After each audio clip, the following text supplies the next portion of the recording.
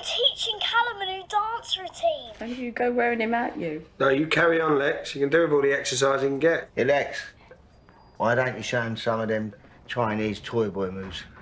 Toy boy? Um, I think you mean boy band, Billy. It's K-pop. It's Korean. Yeah, that, that's it. Did the operation work, Mum?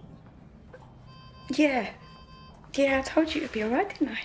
Promise. So you're coming home soon? Yeah. I'll be home soon, okay?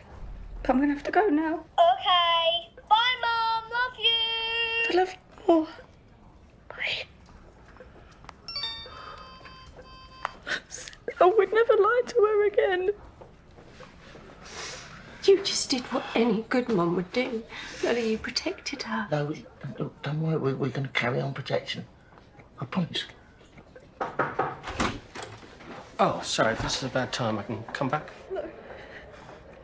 Ready to hear what's gonna happen to me, please. Do you want us to go, love? No. I want you to stay. All of you.